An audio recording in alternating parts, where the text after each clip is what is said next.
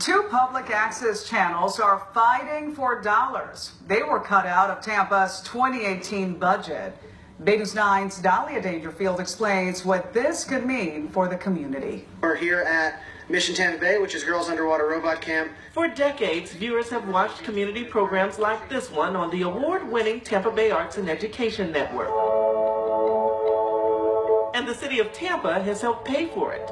But this year, the network has been completely cut out of the city's budget, a $100,000 loss. It was, it, it was, um, it was a bit of a shock. The news just as shocking for those at the Tampa Bay Community Network. That's the public access channel that allows people to produce their own shows and learn video techniques. They've been cut out of the city's budget too. More than $200,000 gone. It hurts us very badly. It may mean layoffs, it may mean closure. Both network heads say they've reached out to the mayor's office after learning of the cuts. They say the mayor has refused to speak with them in person.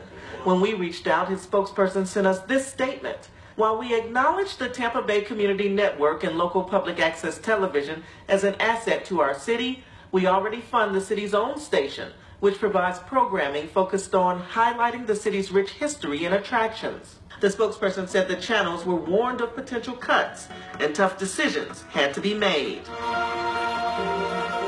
But those who run the two nonprofit channels say this was the wrong decision. I understand that the face of television is changing. However, um, this station operates at, a, at, an efficiency level that surpasses what the city of Tampa uh, television operates at, even the county. The government channel is nothing like the people's channel. It doesn't train anybody.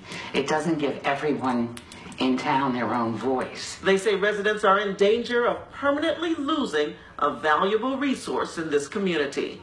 Now the fight is on to keep that voice alive. In Tampa, I'm Dahlia Dangerfield, Bay News 9.